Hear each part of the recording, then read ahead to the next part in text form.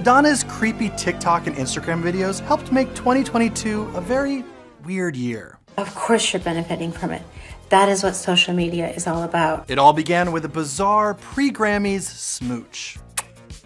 Then she started getting freaky with fillers. I mean, filters. Probably both. But everything about this filter is real. I couldn't have been the only Madonna fan who was terrified seeing her with bleached eyebrows. What you say? Oh, you have it?